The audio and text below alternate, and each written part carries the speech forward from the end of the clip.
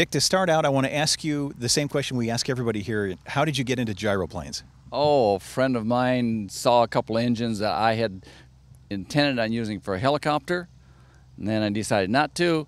He says, Well, why don't we take these engines and build a couple gyros? You furnish the engines, I'll furnish the parts. And that's what it turned out. It wasn't this one, it was a simple type gyro, but that was what really got me into gyroplanes. Now, you mentioned helicopters. I guess I should back up and what got you into helicopters? One day I decided I wanted to build something, maybe uh, a set of fans on a framework that would maybe fly over over the fence or magic carpet or whatever. And my, one day my brother said, well, "Why don't you build a helicopter?" I gave it some thought and started thinking about the the real process of building helicopter, what helicopter, what design, and the likes.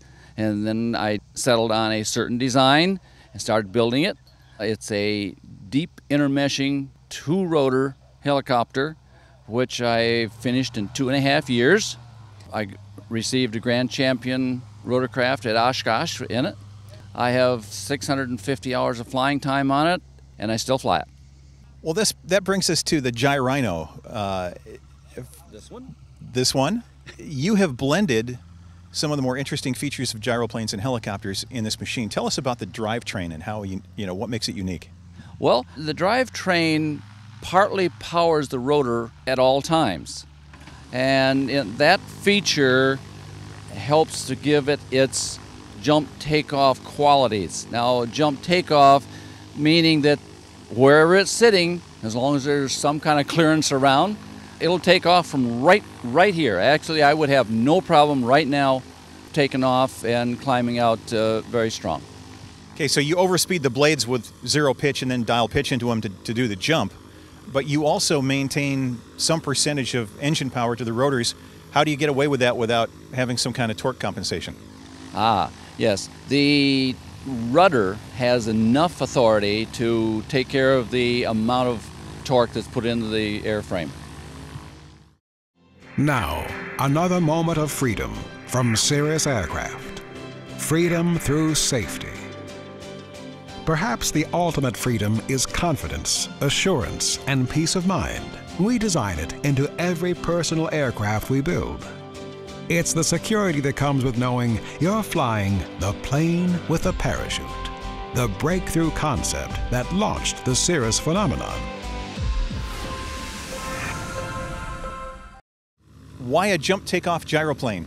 It doesn't it seems to be a compromise most people don't go for. Okay. In 1993, at a fly-in very similar to this one, there was a a contest that was announced for a jump takeoff gyroplane that to clear a 10 foot obstacle and run a 20 mile speed course with as little ground roll as possible, uh, as high as you can get over the 10 foot. But you had to get over the 10 foot even to qualify and fly a 20 mile speed course. I did some thinking about uh, the process. I had actually flown my helicopter to this event. My wife was with me. And I was thinking and thinking and thinking on the way home. And I turned to her and I said, I think I can do this. And she turns to me and says, Why, sure you can. What else do you need? Really? You know? So, over, uh, see, three months period of time, I had decided on how to build it. And this is the result of that. took me a year and five months. The contest was held in Greencastle, Indiana at a fly in like this. I competed in that and I won the contest. Uh, the prize was $20,000, which partly paid for this. Yeah. well, let's talk about how it's run since then. You, are running uh, Subaru power and a bunch of parts that, that you've fabricated yourself. Has it held up well? Well, absolutely it has. I thought it was going to be a short lived aircraft, and the engine has not been apart since. I took the rotor head apart one time to inspect it. The entire system still works very great. You've fabricated components at the level of gears and differentials for this. Oh, yes. How did you acquire that expertise and what do you do in your day job? Well, I work for my father in law in the motorcycle sales and service business. I've always been building little items from ever since I can remember.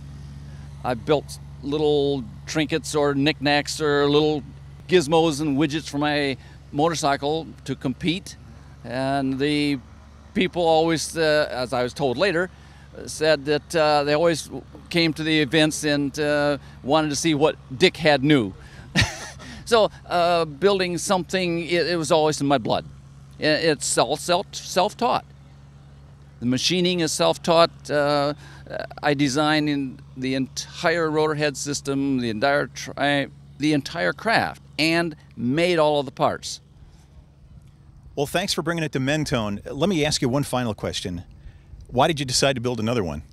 My wife wanted to fly. well, she's been flying for a long time. She's, uh, as, as, both of us are, we're fixed wing uh, helicopter and gyroplane pilots. The beauty of the Release 9 system architecture is that you have two fully redundant integrated flight displays. Each has access to all the systems and data. Providing full redundancy and eliminating traditional reversionary modes, Release 9 allows either display to be configured as the PFD. Now, your failure modes are much more manageable because you can continue to fly with the same familiar display symbology without the need to relearn composite modes you don't typically fly with. Avidyne's Integra Release 9 is truly the next generation in fully integrated flight deck technology how did you get involved in flying, or was it just was it, it Dick who got you involved, or did you get involved before you guys met? Uh, my mom flew back in 1946, but I was too young to really know much about that. And my husband did have a plane when we were first married, and uh, after he saw it, I said, "I think I wanted to fly," but I didn't say anything because he just he just said it was his plane. He had just sold it, and I said, "He said, okay, well, one day then we'll get another plane." So that's how it happened. All right, now fast forward to, to these very unique machines. Dick built you this one because you wanted to fly too, and now you're to the point in proficiency at it where you're doing spectacular jump takeoffs as a duet at air shows. What do you think of this kind of machine, and how did you become attracted to these things? Since my husband won the contest in '95 with the uh, jump takeoff contest for Popular Aircraft Association, he had to have a trainer to start off with, and so he had his Gyrhino after after the contest. Then he the trainer was not being used, so that meant I had one I could use for myself and take classes. So I got into it that way. Tell us a little bit about the differences between Dick's original Gyrhino and your machine. First of all, does yours have a funny name? Uh, mine is uh, DeBird 2. Okay. Yeah, and uh, uh, he allowed me to name it, so it's uh, just something that I had thought up. But my uh, gyro is so unique with the jump takeoff. I, I'm a very lucky person that my husband made one for me. is there anything else that Dick's working on that you want to have one of too? Well, he's working on another jump gyro, and it'll be two place. It'll probably be able to travel cross country because it, uh, we have a 25 gallon gas tank in it. And uh, like my gyro here for like an hour and a half flying here to Mentone from home, it only uses it only uses seven and a half gallons. So literally, they're uh, and that's a Subaru engine, so very economical. Well, thanks for being such a good sport, and we really enjoy seeing you fly. Thank you.